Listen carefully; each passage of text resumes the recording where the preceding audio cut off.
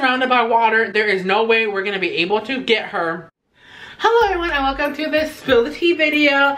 Oh my god, I feel like it's been years since I made a Spill the Tea video. Uh, today I have a very exciting story. So exciting that it got kind of confusing and I had to re-record this entire story. And I'm doing a collab with Vanessa and this is the time when me and my mom had to go rescue Vanessa from a flood. Vanessa got me for my birthday this very special cup and it has Yojo Unicorn on it. I effing love it. It's so amazing. The that we'll be using today is Gatorade. So let the inaugural tea starting ceremony begin. So that happened quite a few weeks ago. So on my phone, I had emergency alert and it said flash flood warning in the area until 2 a.m. Avoid flood areas. And so I'm like, well, you know what? I need to go get myself some food. I went out and got myself some Taco Bell. Like it was just nice and windy.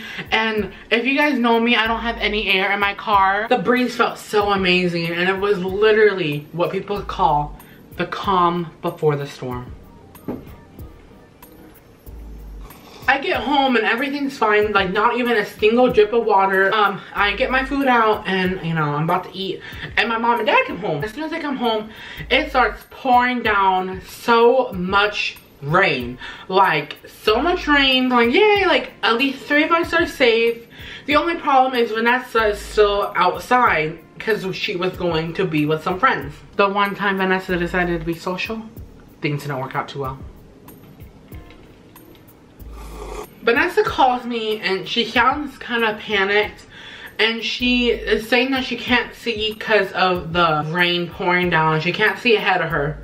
I know that Vanessa has a lot of anxiety, so I just told her, you know what, like it's best if you aren't driving, you just pull off to the side of the road and just wait for the storm to pass. The storm did not pass.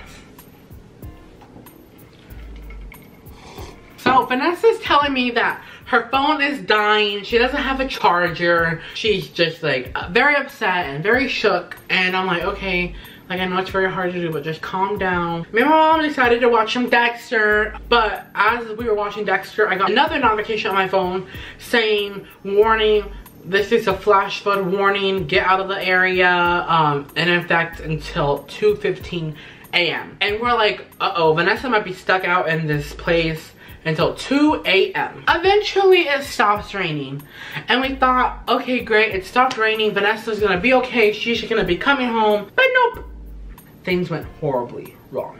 Now I'm gonna take a break here for just a second. So the reason why this got so confusing was that I could not name street names. I decided to make these little cards, the important pieces and the important factors in the story.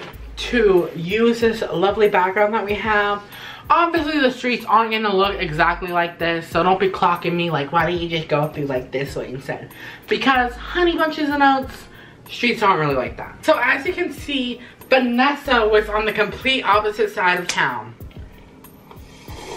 me and my mom decided we're not gonna tell her that we're gonna come try to rescue her because we don't want to get her hopes up. But me and my mom decided to go on a rescue mission to look for Vanessa.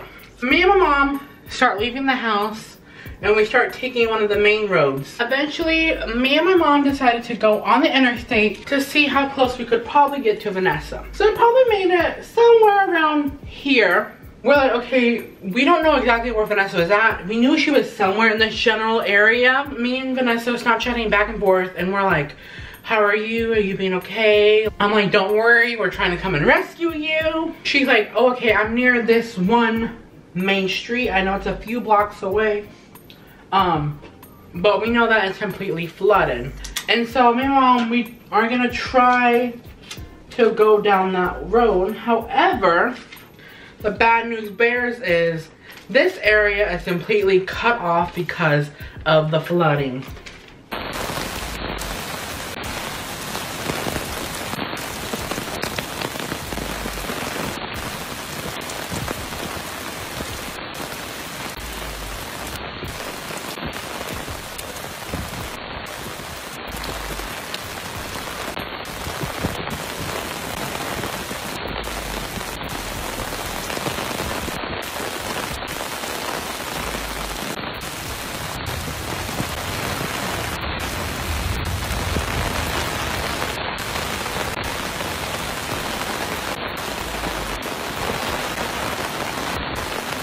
So me and my mom are like, oh crap, we can't go down this way. Let's see if we're gonna try to go around like this way and maybe try to figure out a way that we can probably get to Vanessa.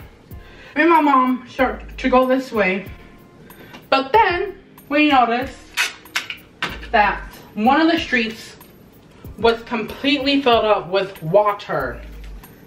And we couldn't go that way. It was so crazy. I wish I would have taken a Snapchat of it because the cars were all like pushed off to the side of the side street and at first my mom was like why are people parking like that but then we noticed we found out it's because the water was so strong it pushed the vehicles off to the side it was so crazy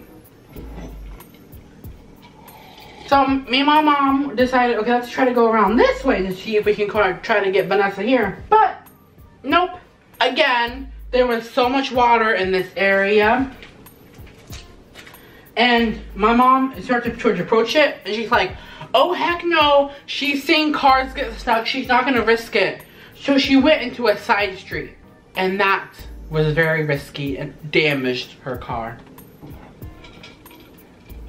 my mom pulls into a side street and we pull into someone's driveway and we hear like this sound and I'm like, uh-uh, that not sound good. That sounded very bad. But mom keeps driving and then all of a sudden my mom's light came on for her tire air pressure.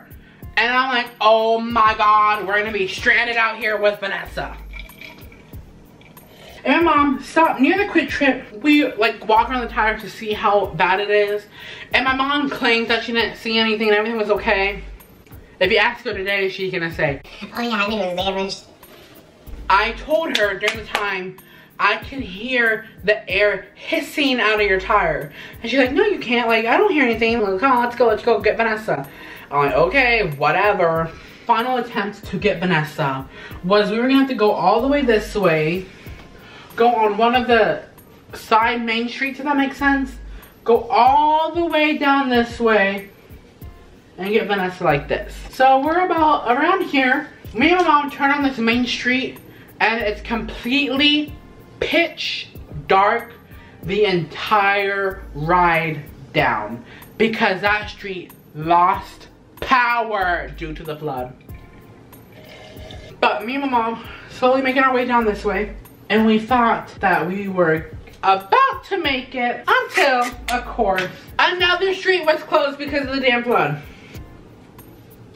So we're like, look, Vanessa is completely surrounded by water. There is no way we're gonna be able to get her. But me and my mom prevailed. We somehow ended up going off to the side street here and making our way to Vanessa. We rescued her out of this long time. And you know what?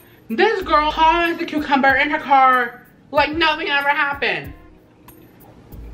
I'm like, okay, Vanessa, do you want me to drive? She's like, uh, yep. Me and Vanessa, so no, me and Vanessa represent Vanessa. My mom is by herself in her own car. Mom is having us follow her, but she's a speedy driver. So when she's up here, I'm still down here. So my mom is determined to get home very fast. Me and Vanessa are still kind of behind. Oh, me and Vanessa like, honey, like, we need to slow down for us.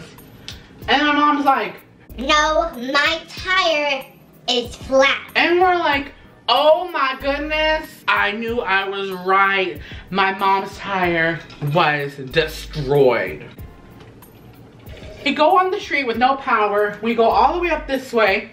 And then we take a street, go to a QuikTrip near the house. So there's a QuikTrip over here. And we fill up Vanessa's tire and we also fill up my mom's tire. And then my mom's like, come on guys, like we don't, I don't have enough time. My air is leaking out of my tire. Anyway, we make it back to the house. We're all home safe and sound. My dad's sleeping this entire time, believe it or not. Uh, the next morning, I go outside and I'm like expecting to see a nail in my mom's tire. But no, I see this little hook thing sticking out of my mom's tire. I'm like, what?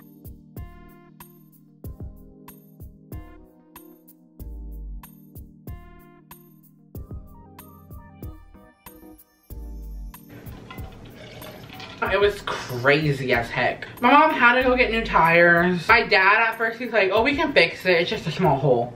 Do you see that? Do you see the little thing sticking in the damn thing, Dad? That's not repairable. Vanessa was happy that she was home. and we were happy that she was home and safe and sound. Yeah, the story does have a happy ending. So, for my return to the Tea, my tea went down to the blue zone over here. That's really good. Hope it wasn't too confusing. If it was, I'm sorry. I hope you guys enjoyed. If you did, please remember to leave a like, and I'll talk to you guys all again next time. Love you.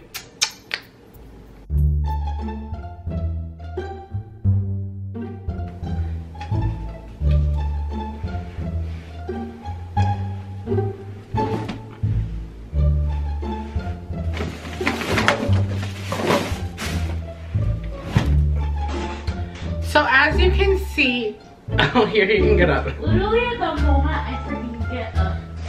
Okay.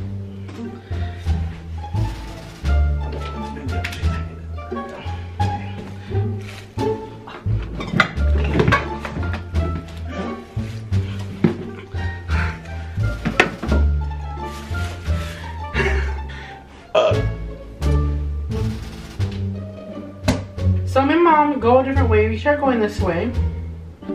Sorry, no, wrong. Wrong thing. God, why do I have a jump? I don't need this anymore. Like, like Christmas is over. So my mom just fell. This is a struggle bus, if you can't tell. Telling this damn story, but not so. She can't even hear me. Yes, I can. I'm just trying not to interrupt you. across from her and um and mom just fell off the grid again. How do you feel to know that me and mom came to rescue you? Oh. I was like, hallelujah. Fingers crossed that we won't get paired up with some random people.